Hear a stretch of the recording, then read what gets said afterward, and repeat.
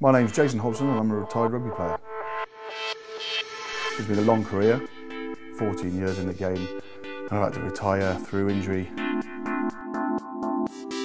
The collisions now are getting bigger and bigger, but in, in my day I was always a little slow, I was always a little behind everyone else, so I had to use my nous a bit and uh, have some shortcuts and things like that, and the tackles back then were pretty ferocious.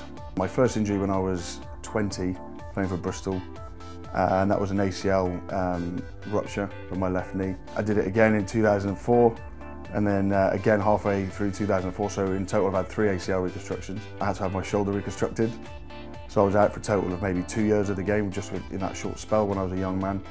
Um, got my career back on track and then um, had to have neck surgery, then ruptured my Achilles twice. Insurance in, in, in rugby especially is quite, quite a massive, massive thing where you have other people to look after, like your wife, your child, you, you have a mortgage to pay. So for me, having insurance as a rugby player was quite restful. It meant, meant I could sleep at night and uh, I could get on and do my job at the best of the ability, knowing that there was always something to fall back onto. The insurance is uh, a premium in the rugby, especially in the amateur game.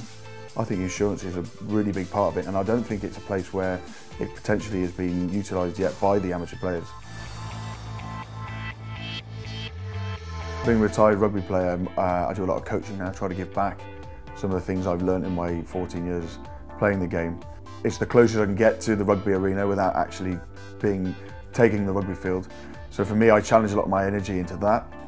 Insurance in the amateur game is quite uh, a big concern for me as a coach.